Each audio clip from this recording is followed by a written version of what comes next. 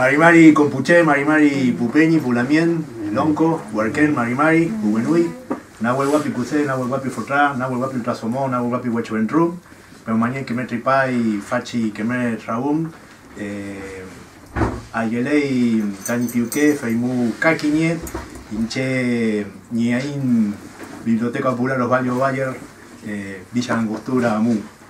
Eh, buenas noches. Convoqué a las energías ancianas y nuevas, femeninas y masculinas del Nahuel Guapi para que esta reunión salga bien. Les conté que estoy muy contento de estar otra vez en la Biblioteca Popular Osvaldo Bayer. Recién le comentaba un amigo que para mí Villa Angostura se limita a la Biblioteca Osvaldo Bayer. no, no mucho más. Es- Villa Angostura es sinónimo de, de la biblioteca.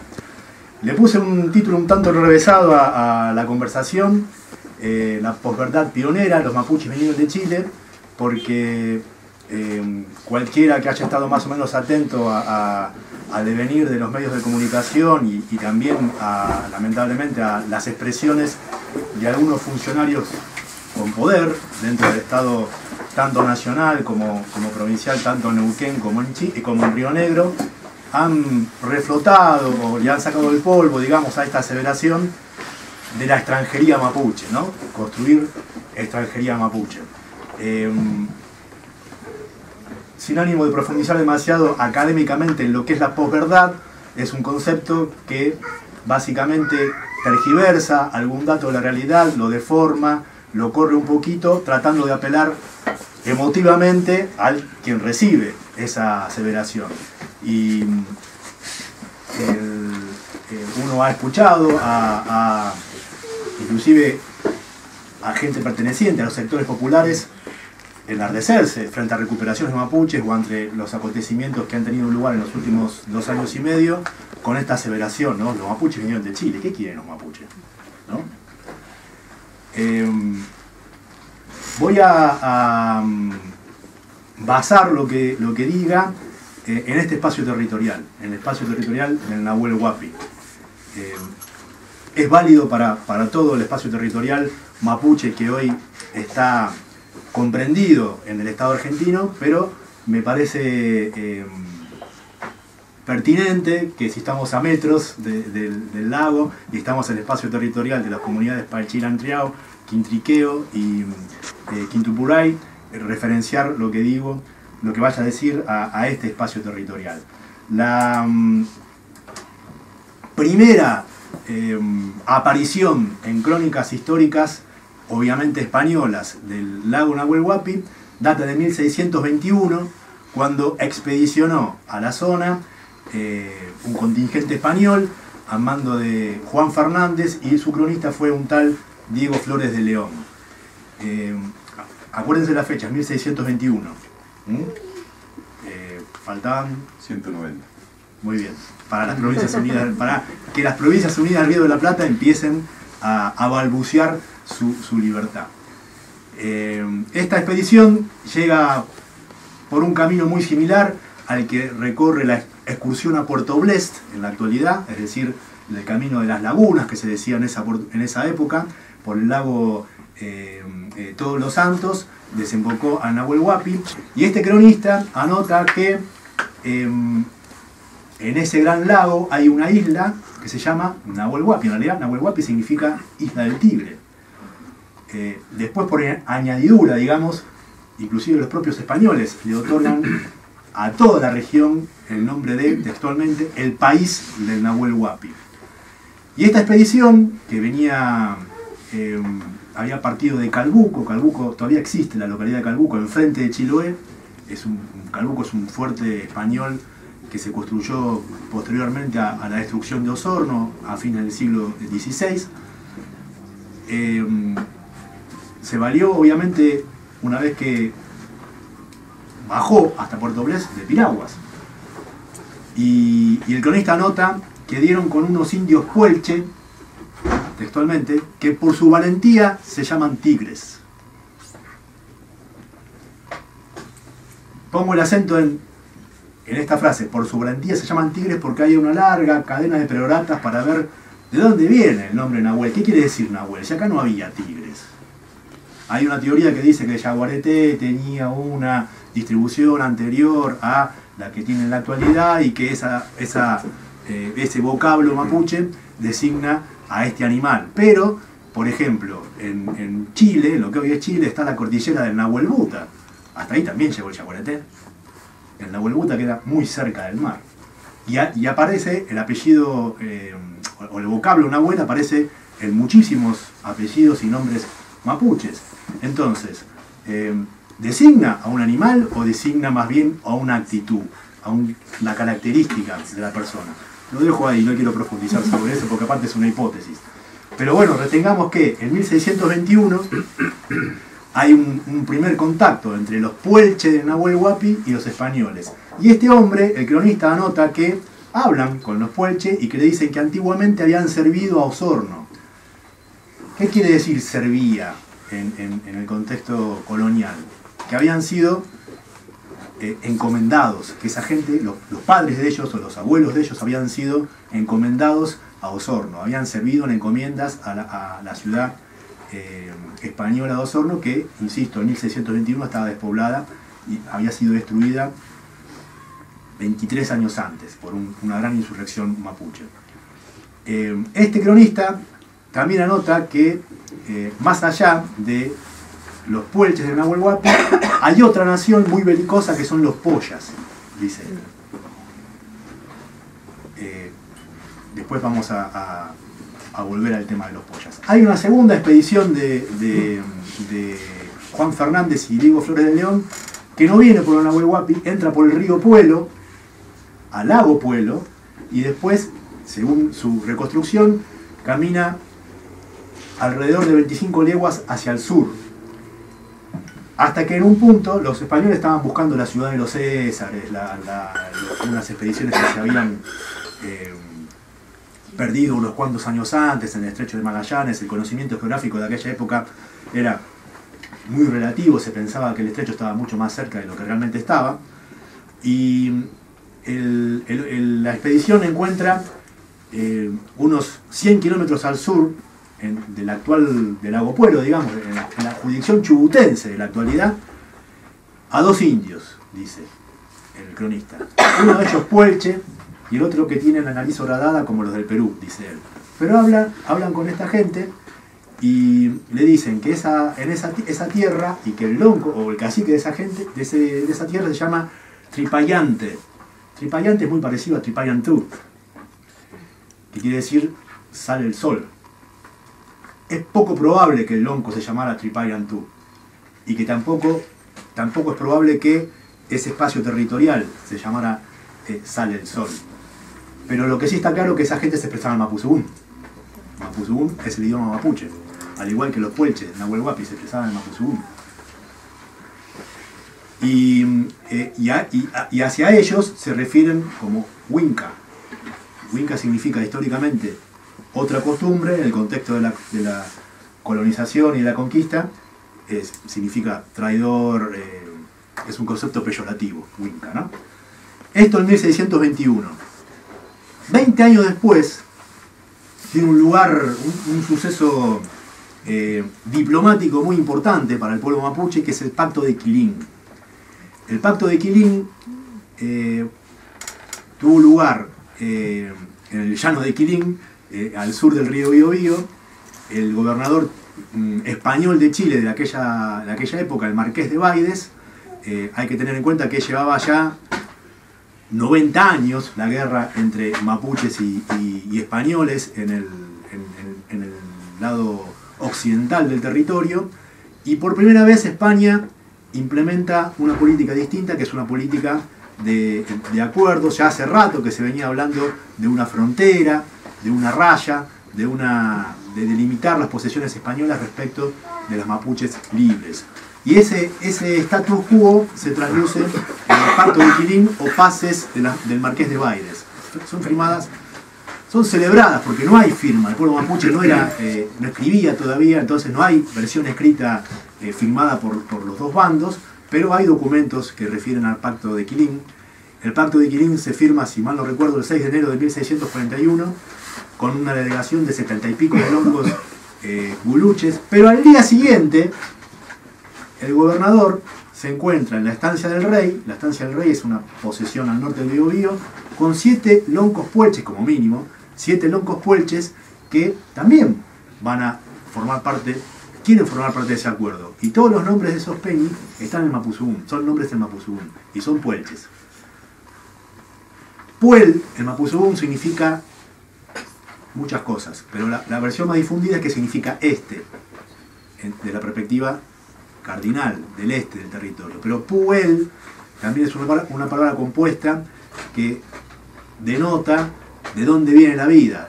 Él, capaz que escucharon a Elal, la leyenda de Elal, por ahí hay, hay libros un tanto ingenuos, digamos, que hablan de, el, el, héroe Elal, de, bueno, el, la palabra mapuche puel refiere a los Nehuen, es decir, a las energías o poderes que son dadoras de vida y que están en el este.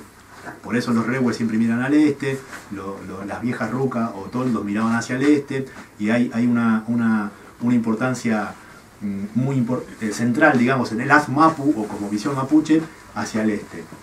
Eh, de manera que ser puelche no era ser de cualquier lado. Era, era, era, era mm, muy importante cosmovisionalmente provenir del este. Eh,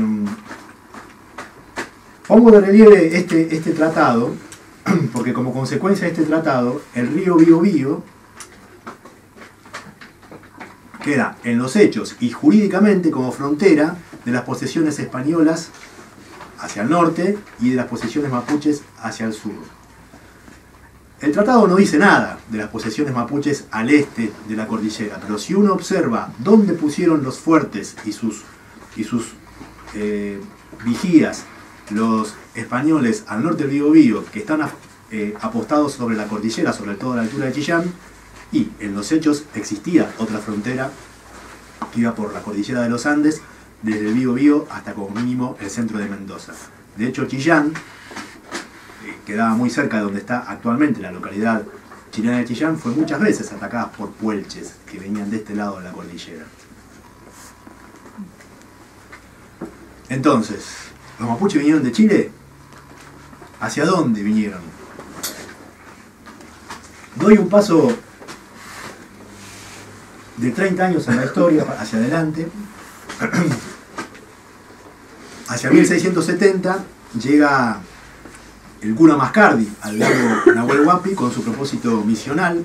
Ustedes saben que la, orden jesuita gozaba de, mucho poder al interior del andamiaje colonial español y el proyecto no era solo evangelizador, sino también tenía una clave geopolítica muy importante porque en este momento de la historia al cual, al cual le estoy mencionando, justamente la única posesión española al sur era Chiloé. Desde Chiloé al norte había un vasto territorio mapuche en el cual los españoles habían sido desalojados y la frontera y, las posesiones españolas seguían del Biobío hacia el norte. Entonces, de Chiloé a Concepción no se podía ir por tierra solamente por mar y una vez por año.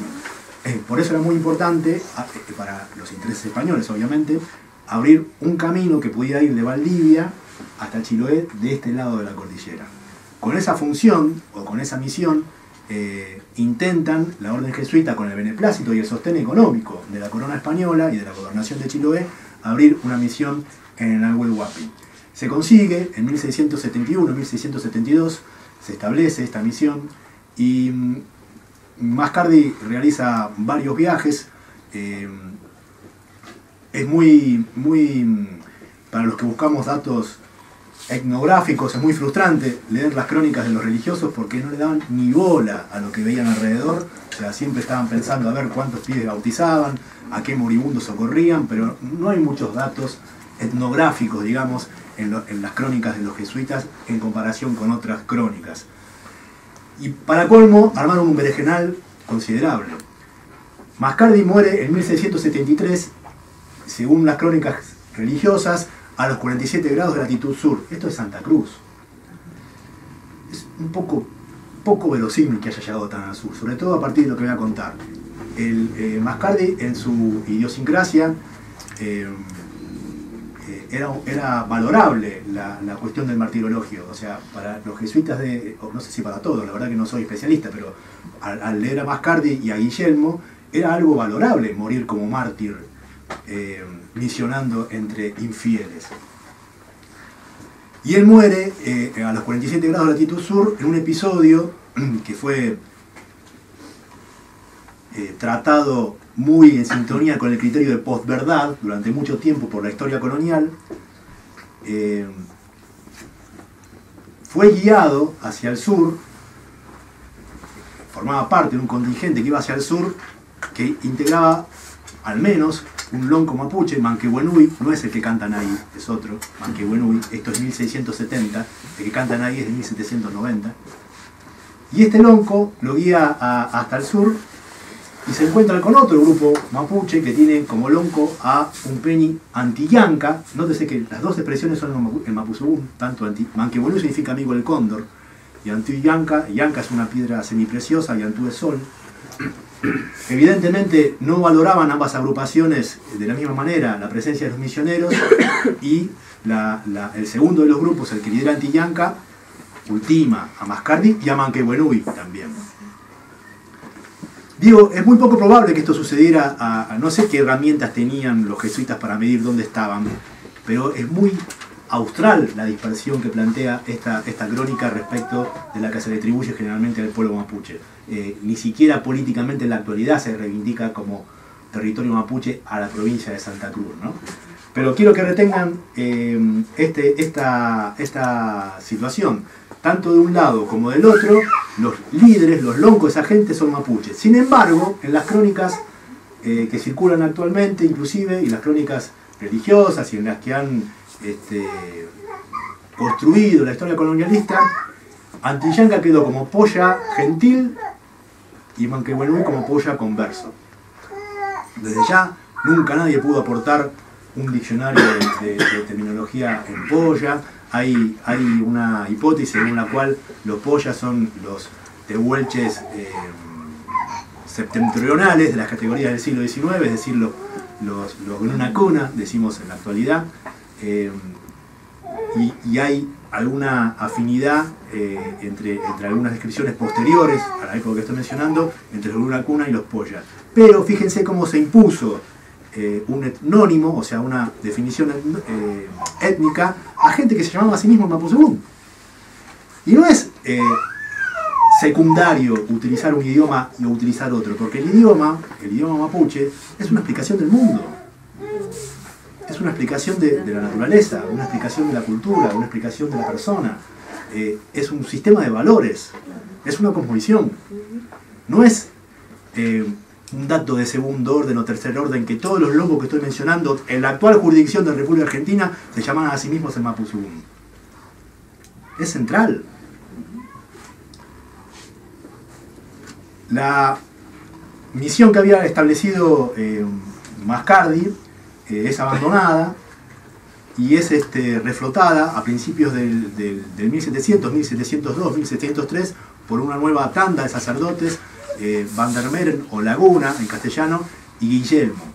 Eh, en este caso, mm, eh, inclusive las propias crónicas jesuitas admiten que las relaciones fueron mucho más tensas, que ya no se, se limitaba a, bautizar y a, convertir, a tal punto que em, empiezan en las crónicas jesuitas la, hipótesis del, envenenamiento. ¿no? Laguna habría muerto envenenado, hay otras fuentes que dicen que en realidad no se bancaban la chicha, que era, convite habitual en, la gente que, recibía, tanto de paso o en sus lugares de residencia habitual, a estos sacerdotes. Pero en el caso de Guillermo, eh, cometió una, una importante. Guillermo, a Guillermo se le debe la apertura del paso de los buriloches, famoso paso de los buriloches. El paso de los buriloches no era un paso indígena, no era un paso mapuche, por eso, era, por eso se perdía, cada dos por tres se perdía había que, era necesario redescubrirlo. El paso de los buriloches era el que habían utilizado eh, años antes los españoles de Chiloé para venir a maloquear, es decir, a buscar mano de obra esclava al Nahuel Huapi. Por eso eh, no, había intención por parte de los puelches de Nahuel Huapi que ese paso se volviera a abrir. eh, como el camino de las, de las lagunas, el que va por Nahuel Huapi, el lago Todos los Santos, río Peulla, era muy tortuoso, Guillermo, que además de cura era estanciero y aparentemente ingeniero de caminos, le puso especial énfasis en que se abriera ese camino y lo consiguió. Pero no pudo disfrutar de, su logro porque evidentemente eh, eh, los, Peñi y la Mien advirtieron que geopolíticamente era muy peligroso esa, apertura. El, cura Olivares, que es otro cronista eh, jesuita, anota que hubo una junta, una junta es un raúm, y aquí también es importante detenerse en esto, no fue el capricho de un lonco eh, demasiado irritable o, que justo le había caído mal la chicha y que decidió ultimar a, Guillermo, fue una decisión política, fue un raúm no solo se reunieron los loncos puelches del Nahuel Huapi, entre los cuales figura otro Banque Buenui, que no es ni el primero porque había muerto, ni ese que cantan ahí, porque estamos, estamos 85 eh, años antes. Y también participa un lonco eh, pehuenche, que en las crónicas aparece como Leviluan o Lefluan, que significa guanaco veloz. Otra vez Mapuzugún. ¿Mm? Siempre lo que estamos mencionando se llaman a sí mismos el Mapuzugún.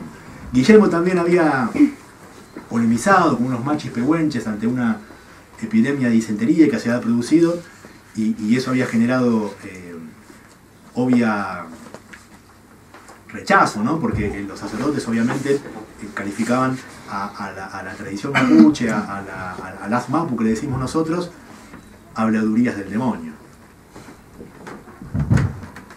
Es destruida la misión, esta vez a sangre y fuego, es incendiada, es este, hay un, ataque eh, en regla, digamos, son ultimados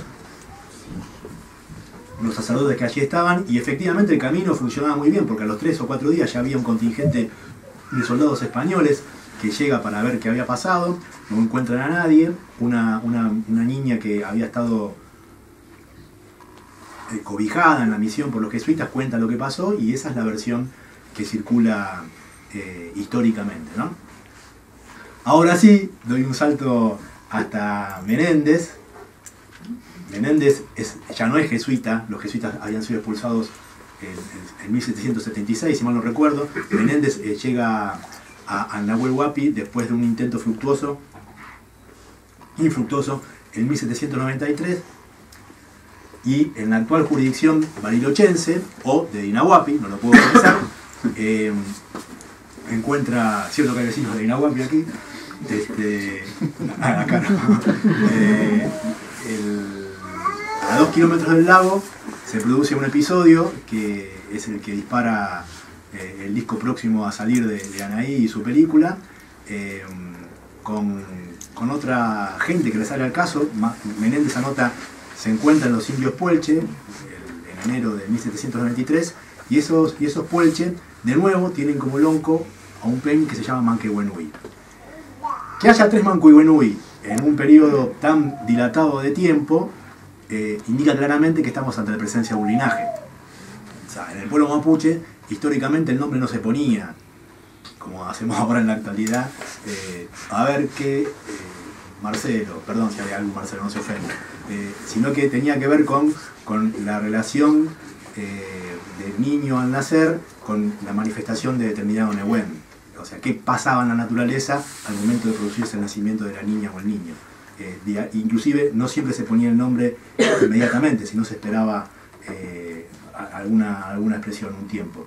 Eh, de nuevo, un manquehuenui se encuentra, en este caso Menéndez viene con 50 milicos, o sea, no es que esta imagen del, del cura abnegado, con la cruz adelante, en soledad y mirando para arriba, es un tanto relativa, venía con 50 arcabuceros con armas de fuego. Eh, soldados españoles, no, ni siquiera milicianos, soldados españoles eh, regulares. Eh, se produce el encuentro y mm, para no, no, puedo entrar en detalles por cuestiones de tiempo, vuelve Menéndez a, Chiloé y retorna al año siguiente, y vuelve a encontrar a, a, a y a otros loncos que, salvo algunos que venían de más al sur, insisto, siguen llamándose a sí mismos el Mapuzugún.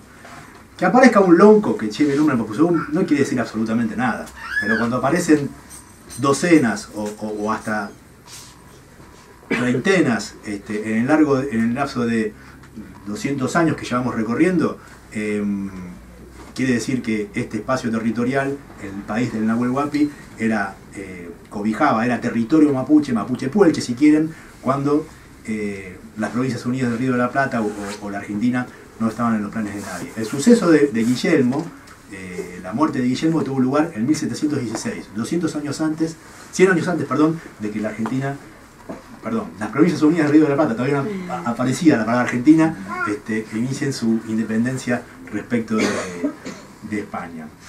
Em, bueno, paso por encima de otro episodio y me voy a, 1876, tres años antes de la campaña al desierto, de que arranque la campaña al desierto.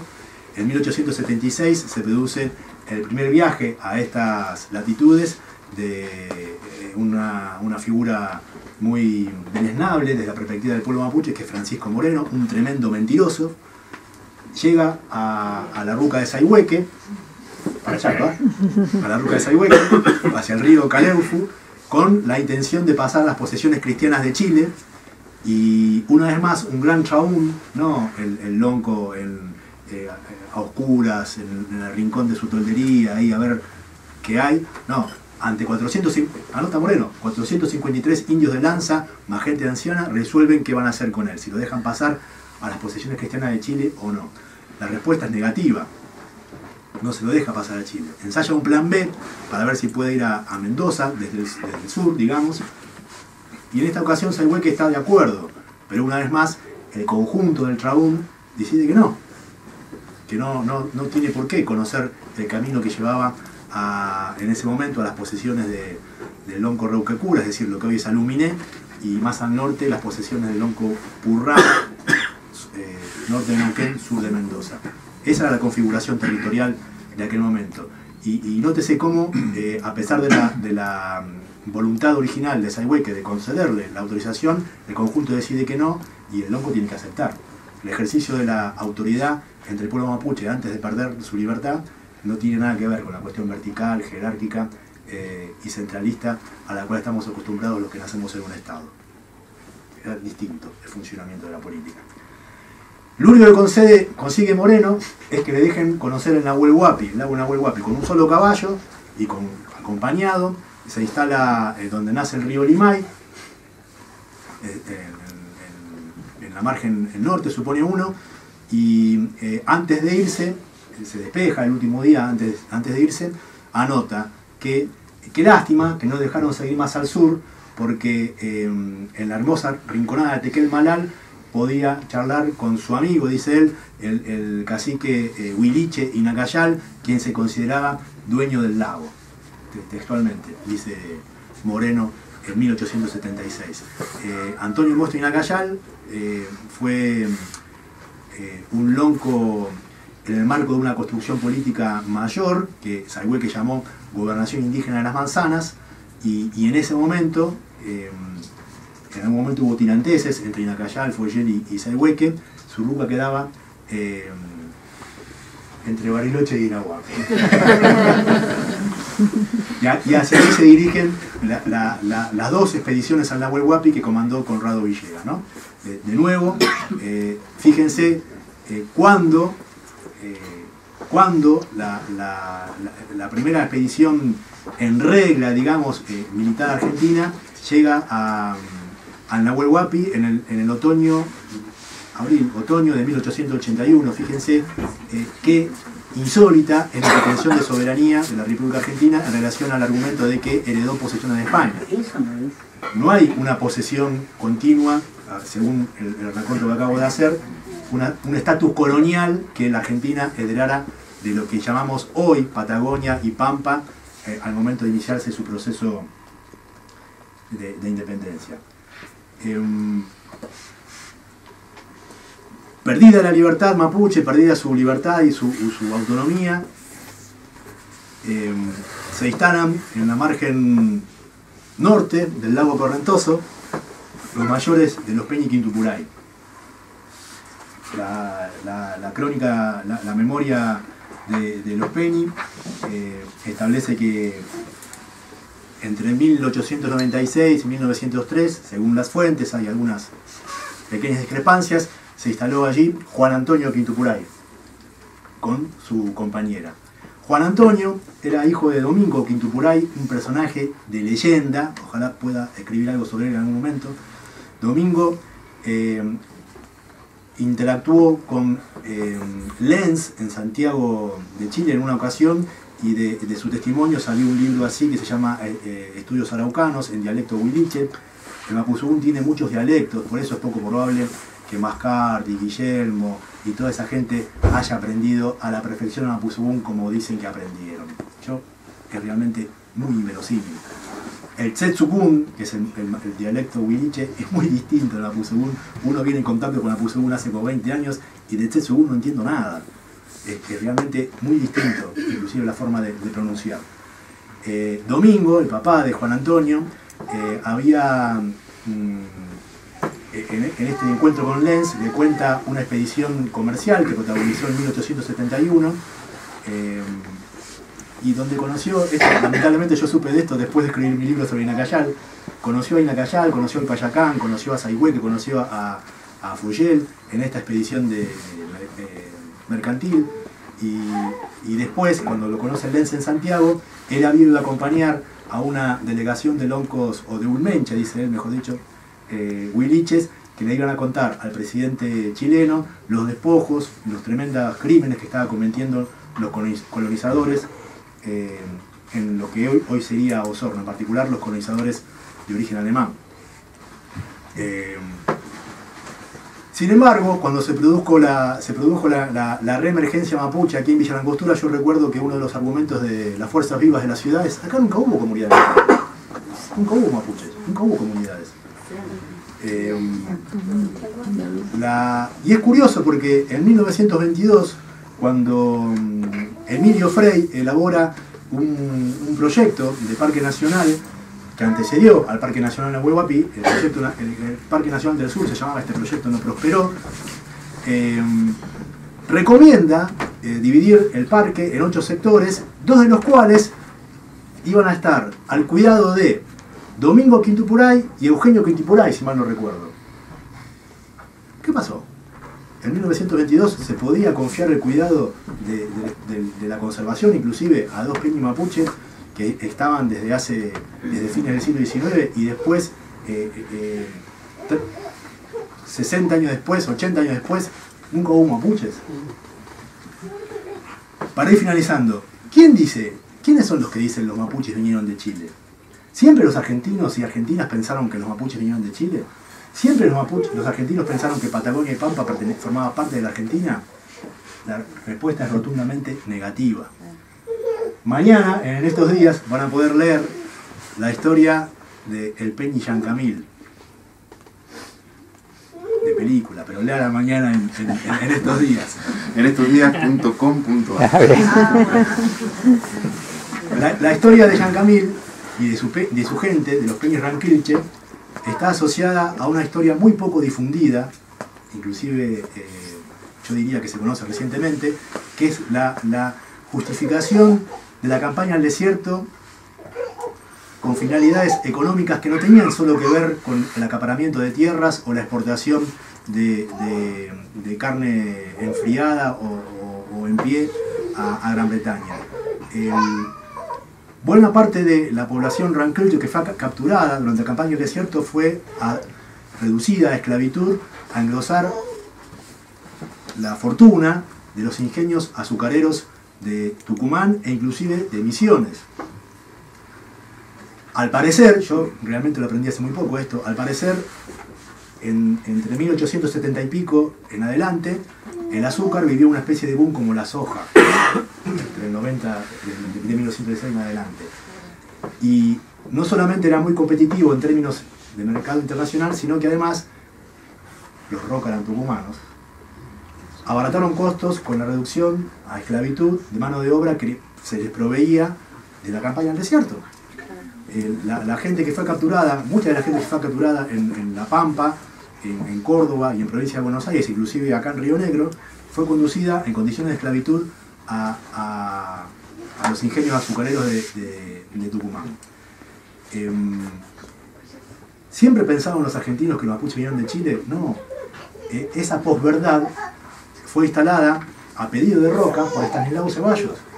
Estanislao Ceballos escribió unos cuantos libros antes, de la, antes y durante la campaña del desierto y también escribía eh, en varios eh, diarios influyentes de la época para empezar a instalar esta idea. Inclusive, en las partidas del nacimiento, que, los niñitos mapuches que son apropiados por estas familias de la oligarquía tucumana, los curas ponen nacionalidad, a veces ponen pampa, nacionalidad araucana, nacionalidad eh, Patagonia ponen en alguna ocasión, lo que implícitamente quiere decir que Patagonia no formaba parte de la República Argentina. Ahora bien, ¿por qué volvimos a escuchar ahora eh, los mapuches vienen de Chile? Y ahí, obviamente, mis dos compañeros de panel manejan mucho más información que yo. Eh, al, volver a echar mano a esta, a esta aseveración, a esta posverdad, ¿para qué se está preparando el terreno? ¿Para qué se preparó el terreno? Eh, este gobierno no tiene buenas relaciones con el sector social que se benefició directamente de la campaña del desierto. Es el sector social que se benefició directamente de la campaña desierto. Obviamente hay otros actores en juego. Hay otros actores en juego. Los, las transnacionales de la minería y del, petróleo no son eh, el sector social al cual nos estamos refiriendo. El jeque árabe que está instalado eh, al sur del lago Stephen no forma parte de, Pero este gobierno es el que ha propiciado el acuerdo con, eh, con Qatar. Y ahora resulta, yo me enteré hace muy poco, que ya está tomando posesión de la empresa que opera ahí al sur de Stephen, en el Manso, para el norte. ¿Por qué los mapuches vinieron de Chile y esta militarización a la cual asistimos de hecho hace dos años y medio, tres, y ya jurídicamente hace un mes y medio, dos meses cuando promulgó el decreto del Poder Ejecutivo. Evidentemente se vienen, lo dijo Esteban Bullrich, nuevas campañas, nuevas campañas al desierto, nuevas este, reducciones a la esclavitud, nuevas eh, construcciones o reformulaciones de, fortunas, pero leanlo mañana en estos días, siempre habrá un Yancamil que va a seguir defendiendo hasta que más no pueda su libertad. Muchas gracias.